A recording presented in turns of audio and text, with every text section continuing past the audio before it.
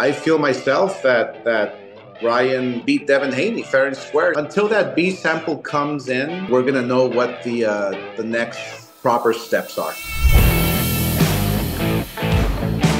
All right, Oscar De La Hoya is the CEO of Golden Boy Promotions. His company has partnered with El Rey Rebel Fast Channel, air some of the most memorable fights in recent history as part of the new Friday Night Fight series. So, Oscar, that got me thinking. If you could only watch one of your old fights, just Right. one, which one would it be? Probably Ike Quartey. I, I always loved that fight. I think it was one of those um, one of those fights where it was do or die, literally. It, it was almost like punching in the mirror. Every punch I would throw, he would throw back. He would take the punches. We went down. I went down, um, and the twelfth round was just so classic, almost like um, a, a, a, a winning Rocky moment. You know, bell rings you both are tired you raise your hands up both guys think they won it was a it was a very entertaining fight That was an incredible fight. Um, what's the fight that people ask you about, though, the most? uh i think it's the vargas fight yeah the vargas the, the vargas fight and the first mosley fight for some reason yeah for some reason they love they love those fights and and ironically they both tested positive for steroids You know, the last couple of fights of your career, two of the last three were losses to Floyd Mayweather and Manny Pacquiao. If you could go back Yes. to say right around 2010 when you were, you know, out of the game but still thinking about the game, if you Sure. could have rematched one of them, which one would it have been? Um, one of them. I mean, I obviously both of them, but um, wow, probably probably the Pacquiao fight. If I was in my prime, if I was in on weight, I mean, eh, who knows? Obviously, it, it would have been a different turnout, but um, that fight would have been an amazing, amazing fight to watch. Yeah, when I fought Manny, I just, I just, I had nothing. I had, by walking up the ring, I was already winded and tired um, just from losing so much weight. But um, yeah, I would love to do that fight over again because the, the Mayweather fight was such a close fight where it could have gone either way. I mean, give me the draw or something. Uh, the Manny Pacquiao fight was a total embarrassment, so I, I would I would redo that one. That's interesting because I mean Pacquiao was obviously at the end for you. You knew immediately afterwards that it was over. The Floyd fight, I- I'm guessing you thought when that final bell rang, I'm guessing you thought you won that fight. I, I would thought that would stick with you more than than the Pacquiao loss. No, no, I, I it's you know I'm a competitor, and you know if I if I had a good fight uh, against the very best fighter at the time, um, I I uh, you know I'm gonna move on and and and take that as a win, but Pacquiao just you know obviously demolished me. Um, I had nothing to fire back with, and so knowing knowing that it wasn't me up in the ring, knowing that you know, a hundred percent. Uh, yeah, I would, I would, I would have loved to run that back. Only if I was, if I can turn back the clock. You know, you've been a busy guy over the last few weeks and, you know, experienced some highs and lows certainly over the last few weeks. And one of the biggest stories still in the news to this day is is Ryan Garcia and everything that's happening with him right now. At this point, Oscar, we know that on May 22nd, the B sample of Ryan's test is going to be tested uh, Yeah. by VADA. You know that more often than not, the A sample comes back as the B sample. So I guess my question for you is is what is being done right now to try to get Ryan Garcia clear of this? What is being done to try to clear Ryan's name? All, all we can do is wait for the B sample. I mean, obviously, uh, you know, it's, it's, it's what is it? Innocent until proven guilty. Um, you know, that's the country we live in, and there are, there is protocol. There is, um, you know, protocol that we have to follow. We have to wait for the B sample, and there's really nothing you can do. I mean, Ryan obviously is is uh, is stating that he's innocent, and and rightfully so, because I I feel myself that he is innocent.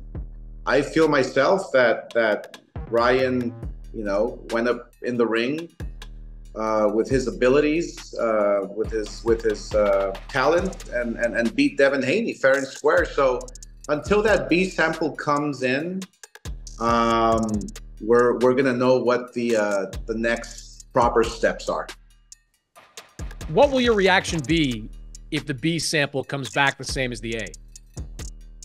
I, I, I don't know. I don't know. It's, it's uh, you know obviously obviously that hasn't taken place, but I, I can't I can't speak on the future. Um, you know this is a very delicate situation, and and I have to I have to I have to stick with Ryan. I have to make sure that Ryan has support at this moment. I mean I can't imagine what what he's going through, what he has to defend and and and rightfully so because he feels and knows that he's that he's innocent. So you know, he, Ryan needs somebody like me to to know that that I have his back and that I'm I'm uh I'm I'm with him at this moment right now a thousand percent. You mentioned Vegas. You are fresh off a trip to Vegas to watch Jaime Munguia against Canelo Alvarez. Right. I know there are no moral victories in boxing, Oscar, but uh, you know I take away from that fight that Munguia established himself as a real threat at 168. I mean, I was among the people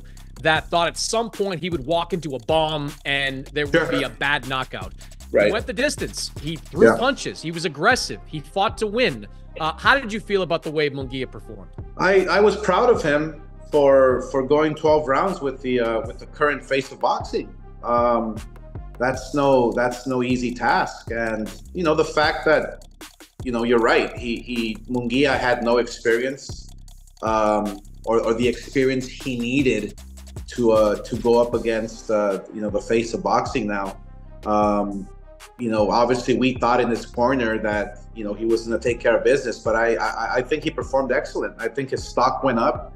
I believe he was at if you want to base this on, on, on social media numbers, uh, he was at like 300,000 followers and now he's like up to 1.3. So he gained a, a, million new fans, which is incredible. I have to ask you about one, I don't want to call it a conspiracy, but something I saw in the 12th round when Canelo, okay. with about a minute and a half to go, landed a 3 2 on Jaime. And it looked to my eyes, Oscar, that he kind of propped him up a little bit at the end of that 12th round. I don't know if you saw the sequence that I'm mm-hmm. referring to. You. But do you think yeah, it's possible that Canelo let Jaime Munguia finish? No, no, no, no, not not, not possible at all. Um, look, w- when you're inside the ring, and not that it was a close fight, but you know it was it was an action back and forth type of fight where Canelo was getting hit. Uh, you never want to carry your opponent. You never want to. You never want to, you know, take it to the judges if you have an opportunity to knock them out. It just does it instinctively as as a fighter. You just you just don't want that. And um, I just felt that you know Canelo and Jaime obviously were tired. Um, it might have been you know a combination, and they got close, and his hand maybe was you know in the way there, and it, seemed like he was holding him up or something. But no, it's uh, if Canelo had the opportunity and the gas to finish him, he would have finished him.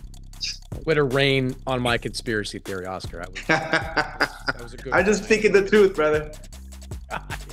well, make sure you check out the El Rey Rebel Fast channel. Airs some of those memorable fights in recent boxing history. As you heard Oscar say, the good ones of his and the bad ones of his will on, yeah. be on the El Rey Rebel Fast channel, part of the new Friday Night Fight series that launched this past Friday. Oscar, always good to catch up, man. Thanks for your time. Yeah, thank, and, and I also just wanted to wanted to say that yeah, um, you know, we're we're introducing boxing to a whole new audience, a younger audience, a diverse audience, uh, an audience that wants to that wants to that that's intrigued by watching these classic fights. And they're not only my fights; they're all the fights in my library. Uh, that goes from Pacquiao to Mayweather to Canelo to all the very best fighters in the world. But yeah, I, am I'm, I'm very proud that we can introduce boxing to a younger demographic, and yeah, that's what it's all about. What's the fight that you watch that has that you were not in? What's the fight that you love to watch and have watched three, four times or more over the course of your life? Um, you know, I mean Hearns and Hearns and Hagler, yeah. obviously. Yeah. Any any any Pacquiao fight as well with Morales and Barrera. I, I just love those action-packed fights, you know, where where people were always uh, on their feet, where people were just, you know, cheering throughout the whole fight, just screaming. I miss those days. Yeah, no question about it. There's nothing better than when boxing is really good. When you have a great fight, there's nothing better. No sport, Exactly. Super Bowl, NBA Finals, nothing better than Nothing than better. boxing. Oscar, appreciate it. Good to catch you up. Okay, you got it, brother. Thank you.